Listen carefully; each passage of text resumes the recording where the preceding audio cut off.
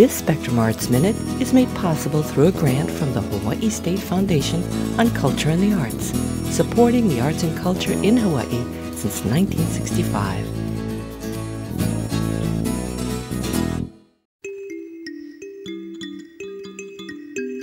It's very difficult for me to talk about actually because I'm, I'm driven by emotion. It's this moment that you go, ah, oh, it, it's just like a nanosecond of time where you get inspired. Because for me, that first drawing, when, when there's something that kind of pops in there and I do that first drawing, that to me is the real piece.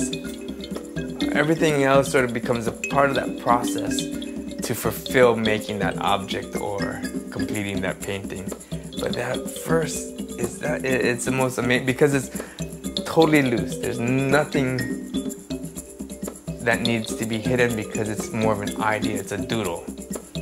It's it. It's that's the answer to uh, happiness.